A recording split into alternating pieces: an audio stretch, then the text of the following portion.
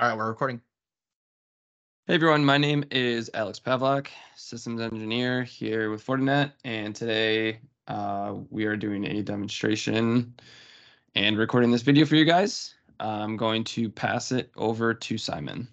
Awesome. Thanks, Alex. Uh, my name is Simon. I'm also a systems engineer. I work alongside Alex. Uh, today, we're going to be doing a demonstration of the FortiSASE secure private access functionality. Um, ultimately, what this functionality does is it gives FortiSASE users to access uh, private resources or applications that are uh, sitting behind an on-premises firewall. Um, typically, uh, the best way for a remote user to be able to access uh, those resources is utilizing the VPN, but using the secure private access, a FortiSASE user has the ability to connect to our FortiSASE service, and then the FortiSASE actually establishes an IPsec tunnel to the on-premises firewall, which ultimately gives the users access to those applications uh, that are normally blocked away. In addition to that, the, the secure private access can actually be overlaid with ZTNA functionality to provide even more protection so that specific users with the proper uh, ZTNA tagging credentials can be access those resources. Today, we're not going to go over that specific uh, functionality or component. Uh, we're going to just go over the setup process for establishing that uh, connection between the FortiSASE POPs and the on-premises FortiGate, and then showing how a user would theoretically access uh, the resources that are hitting be, uh, sitting behind the firewall.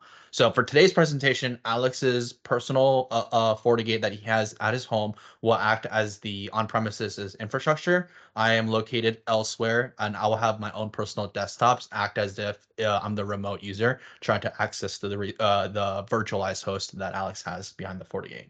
So um, we can get right away. The first thing we're ultimately going to do is set up the IPsec tunnel. Um, we are going to be going through the wizard primarily you're going to be setting this up in a hub and spoke. You can name it ultimately whatever you would like. Just for the sake of the demonstration, we're going to name it VPN5, set it up as, a hub. The incoming interface is ultimately going to be your specific WAN interface that you have set up. Uh, the uh, authentication method, you can just leave it as pre-shared key. And then, you know, you can set the password to ultimately whatever you'd like. We're just going to name ours Alex and Simon, so it's easy to remember. And then you're going to want to set up the tunnel interfaces. You have the ability to set this up ultimately however you'd like. Just for the sake of this demo, we're actually going to call it 10.11.11.1.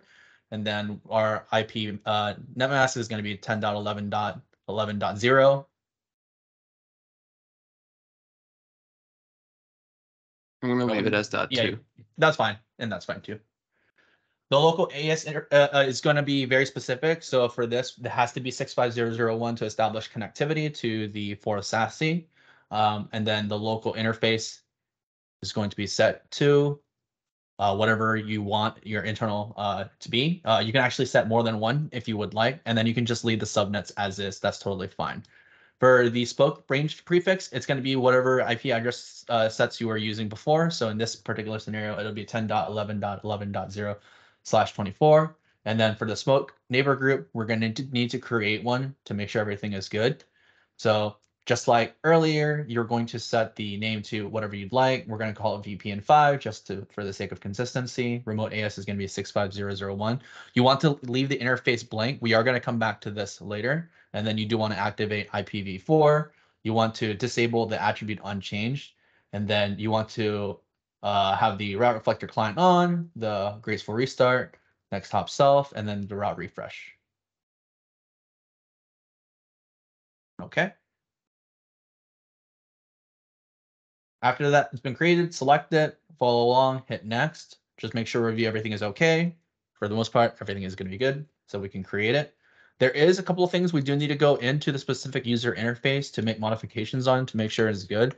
Specifically, we want to make sure that the IKE version is changed to two. We want to change the network overlay, the network ID, and then some of the mode configurations, which will allow the connectivity process.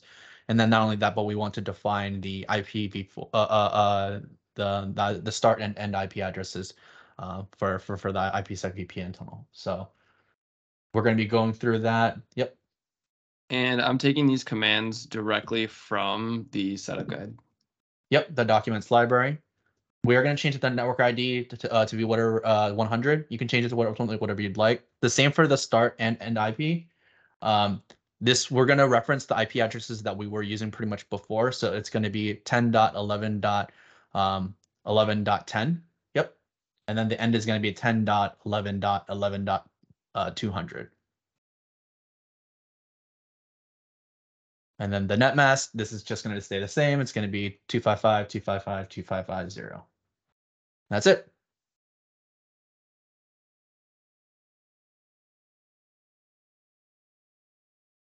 The next major configuration we want to set up is the loopback interface. We're primarily going to use this as a health check um, uh, uh, status.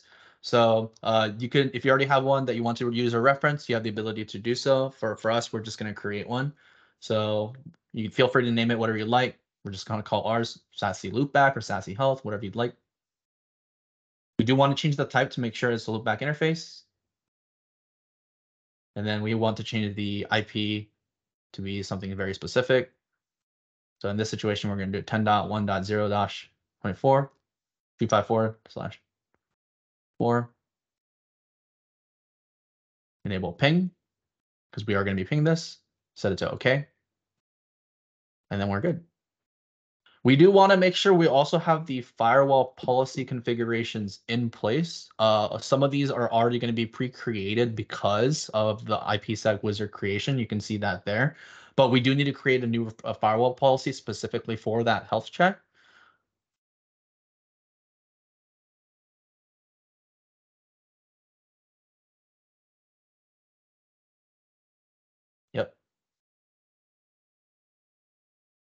And then we want to disable the, uh, oh yeah, uh, uh, you're going to set source and destination to, to all, and then the service to all. And then you are going to want to disable the NAT. That's it.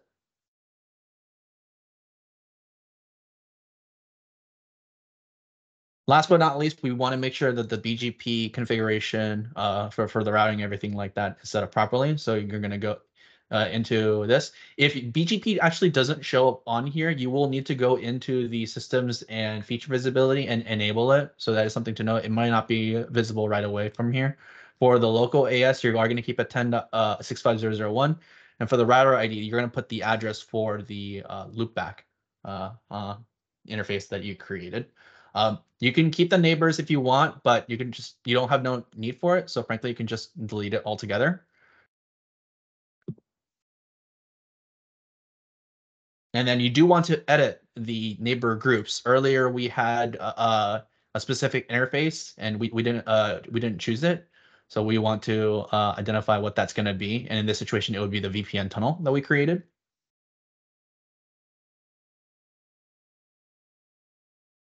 And then we do need additional configuration changes made in regards to the CLI.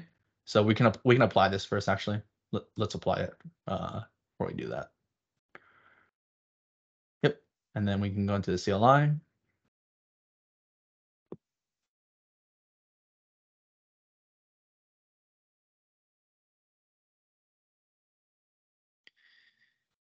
And I am again taking these commands directly from the setup guide. We want to edit some of the things that were in that VPN 5 neighbor group that we had set up.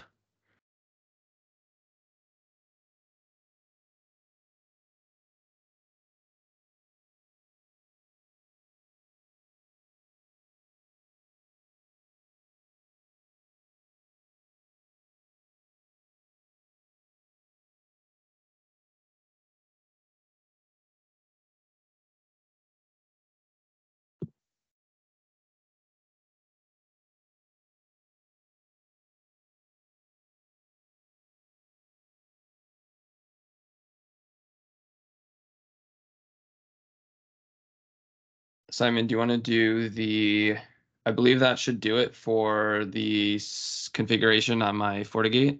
Yep. Um, would you like to do the FortiSASE portal? Yes, I will do that. Let me share my screen.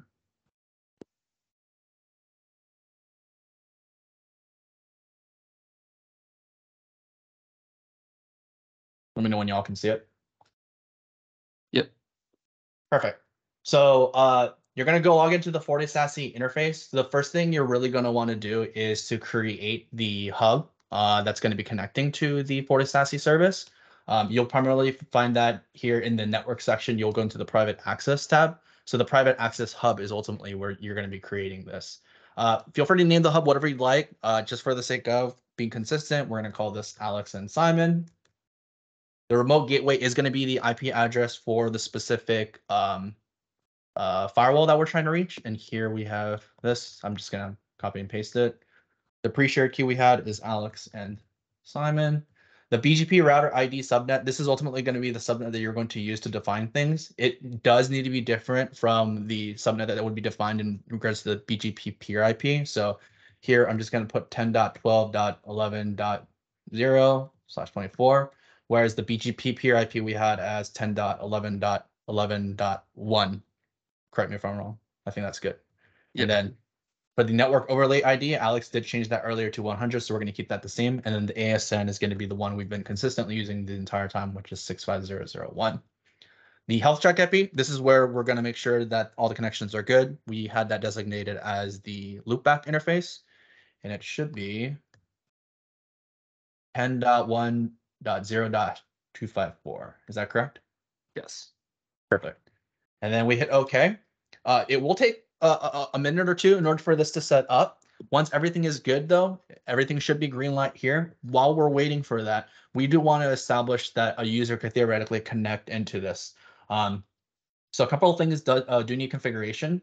So first things first is if you do not have a, user information pre-populated, uh, you would need to add in a user to the FortiSASE service. So that can be a specifically an LDAP user, or you can create one local to the FortiSASE directly. Just follow through the wizard where you're typing in the user's email and then their credentials. Um, if they don't have the agent loaded onto their device, you can install the agent and then type in the invitation code so that they're establishing connectivity to the FortiSASE service.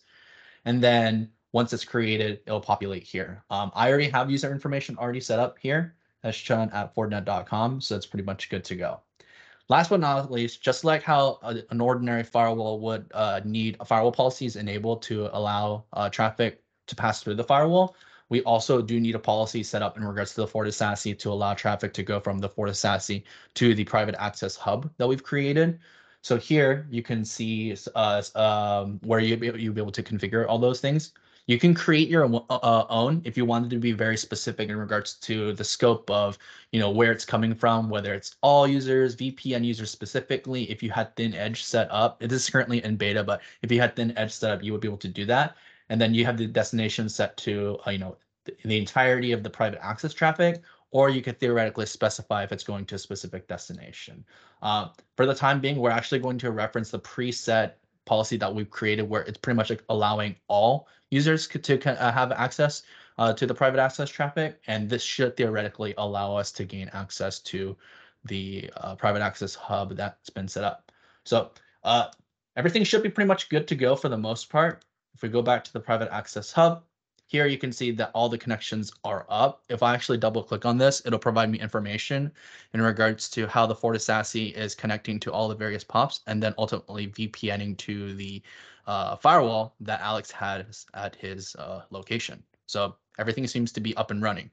If you wanted a much more pretty view, you can go into theoretically the asset map, which will provide you a much more visual representation of all the POPs that the FortiSASE is being run from, in addition to the hub that would be set up here uh, uh, in Chicago. We have a firewall named Alex and Simon. That's where uh, Alex is roughly located, so it's fairly accurate, and then we can go from there. Uh, we do want to test to make sure everything is good. I do have FortiSASE already, uh, uh, FortiSASE slash FortiClient agent already lo loaded on. I do not uh, have connectivity to the VPN, so I'm not logged into the VPN for the FortiSASE service. So if I try to go into the address that Alex has for his uh, host, it should not let me onto the service. And as you can see, it's trying to go, it's circling, circling, nothing's working. So it will error out. So I'm going to log onto the service. There might be some connectivity issues as as I'm switching uh, internet traffic and diverting it from my general internet service over to the uh, FortiSASE. So let me do that right now.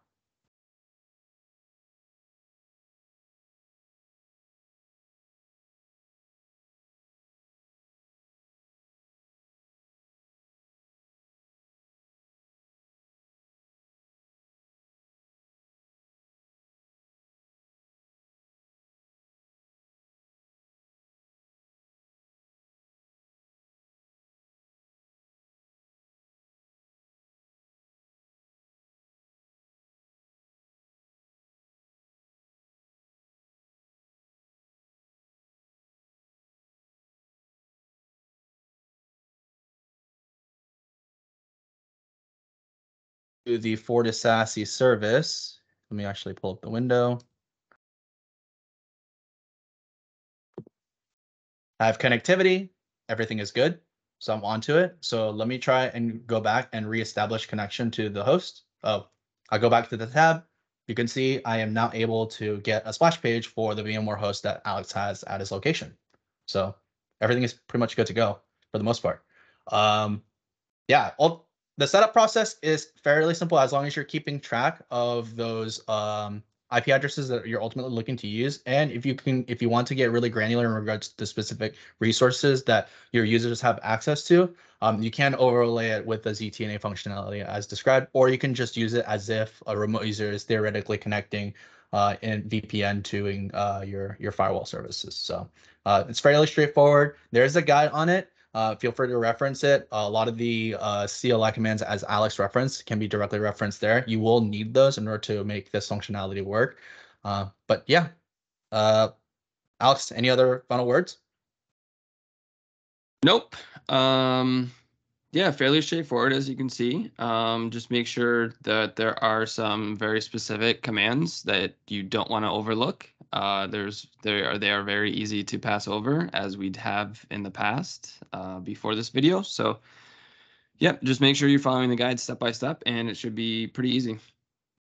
Cool. Thanks everyone. Bye.